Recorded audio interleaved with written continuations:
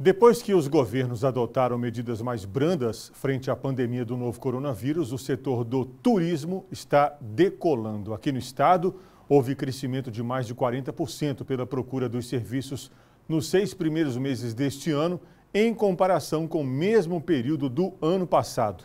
A maior cidade do Vale do Rio Doce acompanha essa tendência. O turismo foi um dos setores mais afetados pela pandemia do novo coronavírus, mas o segmento vem reagindo muito bem. Com a flexibilização das medidas de segurança, as atividades turísticas em Minas Gerais cresceram 45,2% no primeiro semestre deste ano. Governador Valadares acompanha este crescimento e também tem muito a oferecer. Não é à toa que a cidade é considerada a capital mundial do voo livre.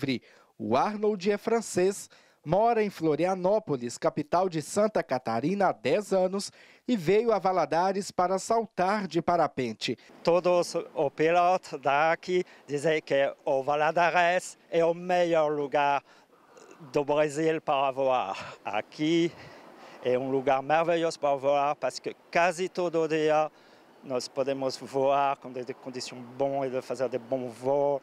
Uh, o vento aqui fraco, so, é bem seguro para voar. Para ajudar os turistas, foi criado o GV City, que é um centro de informações turísticas de Governador Valadares. O objetivo é dar atendimento para as pessoas que procuram conhecer o turismo da cidade. A Betina de Tassis é diretora de turismo e destaca sobre a retomada do setor em Minas Gerais. As pessoas ficaram confinadas e agora elas querem viver experiências ao ar livre. Né? Nesse sentido, Minas Gerais é, ela tem entrado num cenário nacional, né, com destaque, muito em virtude do que o governo do estado tem feito para divulgar Minas Gerais fora daqui, né, Minas para o mundo.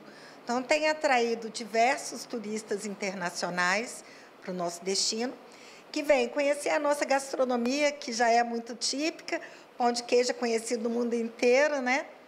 É, vem viver experiências de aventura na natureza, e aí, nesse sentido, Valadares já se destaca. De acordo com o levantamento realizado pelo IBGE, Minas Gerais se destaca na segunda posição do Brasil quando se trata em crescimento turístico.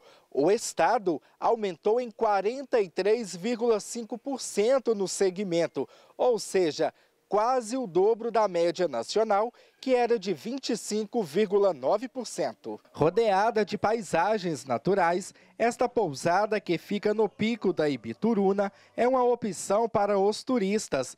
A procura para a estada é muito grande, segundo a proprietária. A própria gastronomia do local também, né?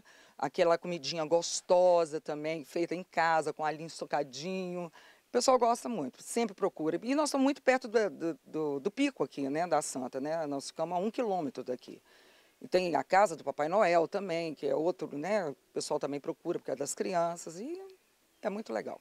Governador Valadares quer empreender, promover um turismo seguro e potencializar o destino turístico Viva Valadares. Valadares é um lugar bom de se viver, bom de se experimentar e é importante a gente mostrar para todas as pessoas que vivem aqui o quanto nós temos de belezas naturais, de atrativos e o quanto é importante a gente experimentar a nossa própria cidade.